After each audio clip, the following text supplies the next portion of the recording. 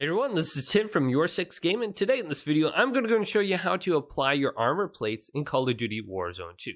So let's go ahead and jump the video right now.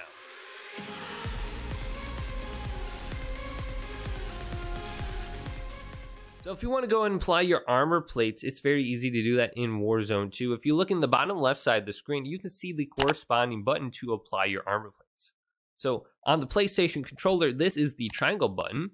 Just go ahead and hold this down and you'll start applying your armor plates.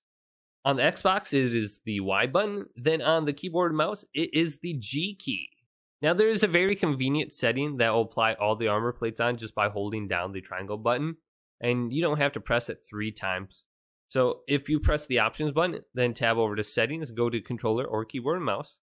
Go down to the gameplay section or the gameplay tab and go to armor plate behavior and put it to apply all. And this says press and hold once to apply one armor plate after the other. So you don't have to press it down three times to apply the armor plate three times. So you just press it down once and hold it, and all your armor plates will be applied. And this will allow you to get to cover or move around without having to put your thumb on the triangle or the Y button. So hopefully this video did indeed help you guys out. If did, go and leave a big thumbs up and subscribe to my channel down below for more tech out videos coming up next on Your Six Gaming